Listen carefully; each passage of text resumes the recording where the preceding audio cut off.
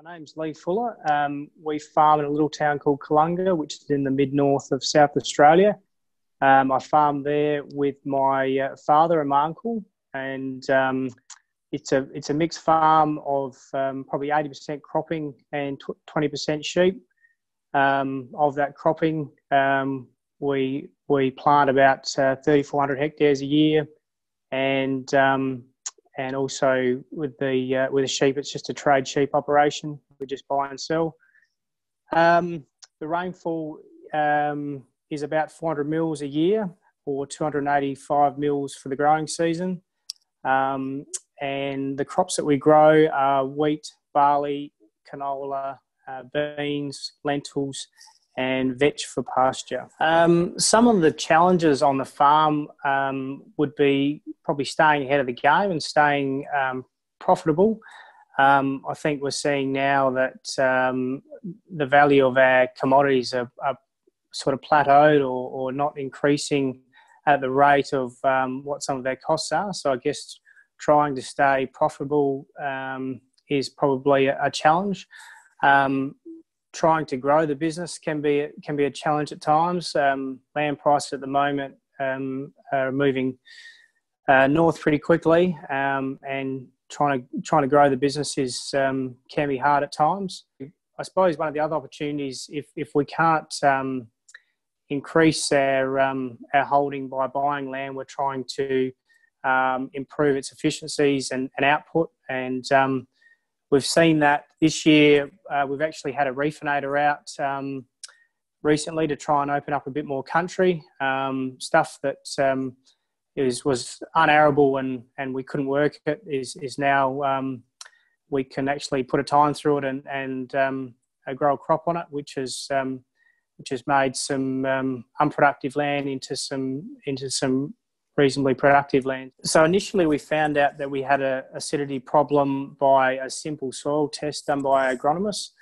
Um, the soil test was initially to test for nitrogen and phosphorus, but um, there was a um, pH component in there, and um, the soil test came back with a pH of between four and four and a half, um, which um, initially we thought most of our country would be neutral to alkaline, just based on um, we've got a lot of areas of free lime and and some limestone ridges um, that has quite high in pH. But um, after the soil test, we realised that um, we have got an issue, and, and at those sort of levels, at four, four and a half, um, can really impact on productivity and, and obviously profitability. PA was probably the only option for us going forward to tackle the problem to actually lime um, is is quite expensive. Um, so to lift, just to give you an example, to lift um, one unit of pH um, costs about um,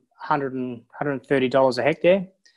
Um, so we figured that the only solution was to do it by variable rating it. Um, so the, the payback really came from using um, uh, saving in the variable costs. So using less lime. Um, so I guess the makeup um, of the cost of, of, liming is is the actual product, um, is the freight component, which is which is a large um, cost of of, uh, of liming.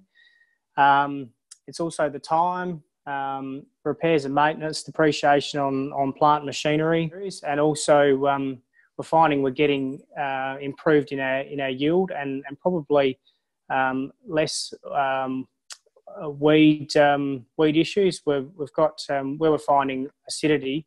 Um, we've got some ryegrass growing, and um, obviously the crop uh, isn't growing as well where we've got uh, low pH and um, and um, the ryegrass seems to grow anywhere. And, and if we can fix that uh, pH issue, we've we've got a more competitive uh, crop to outcompete the ryegrass. So that's probably one area that we're um, we're seeing that we're, we're improving. Um, I guess initially when we started this journey, we were spreading um, the paddocks that we believe had um, low pHs, and the paddock that we recently spread, um, no, we, we didn't think there'd be an issue, and and um, and most of the paddock isn't an issue. It's um, a lot of it is above six six units in pH, but um, I guess by running the Veris machine over it, we can distinguish, distinguish um, which areas um, we can target and yeah, and, and, and target um, the rates that it needs. Um,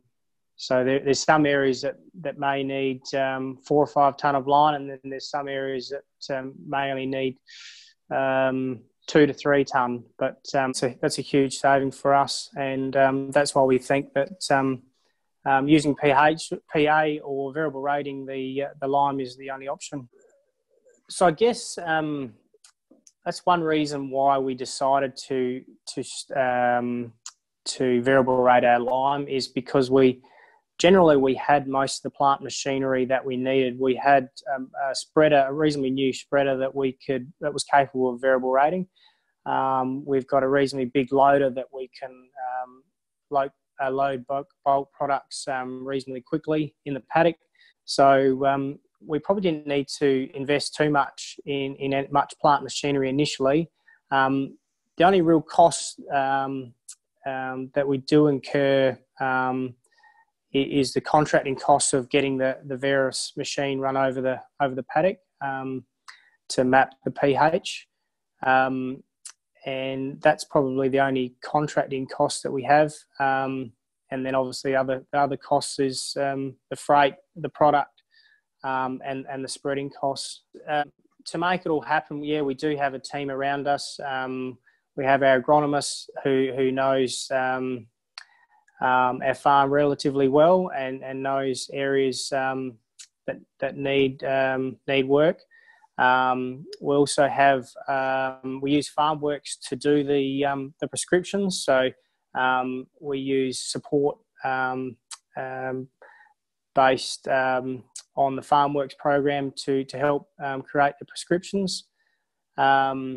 and but generally we we try and do most of the work ourselves, the spreading, the freight, and the loading. We've certainly had some challenges or some problems. Um, There's not too many uh, truck mounted uh, Bredal spreaders about. So that was a bit of a challenge in, in setting that up. Um, there's a lot of things, um, niggles with a spreader initially that we had we had to get sorted out, and um, and that took some time and and some and um, some challenging. Um, but um, we yeah we had to sort of nut it out ourselves with our agronomists.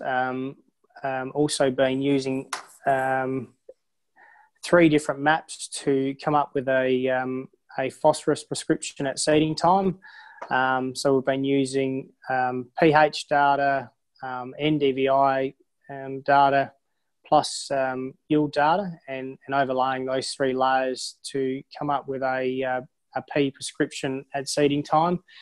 And basically, that's just targeting um, more phosphorus in areas of um, generally high pH or or um, low biomass areas um, um, that were picked up on the NDVIs. Uh, one thing that we consider when we're we're looking at any precision ag um, technology on our farm, we're probably quite often not the pioneers of of some of the precision ag technologies that technologies that um, are available. Um, quite often we'll sit back and, and sort of see what um, see what's working and what isn't working. I, I, just think we need to be careful. There's so many different tools there out there for farmers to use, um, and, and, and sometimes you know there's, there's some feel goods about um, using precision ag, but one thing we try and do is is analyze the benefits of that precision ag and um, and work out if it's going to work for us on our farm. Um, and that's quite often it's hard to quantify the um, the return on that investment. But um, I think you need to do some figures um, just to to try and work out whether it's going to work for you because um, there's no point investing in in new technology if it's not going to um, have a return or improve um, the farm in some way. Uh, yeah, it's hard to put numbers on some of these things. Like we, because we're, I suppose, being farmers, everything's so variable. With the weather, the the cost, the um,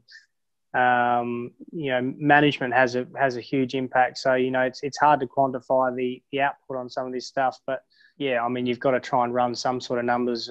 I, I guess we're we're trying to adopt new technology, but we're reasonably conservative as well.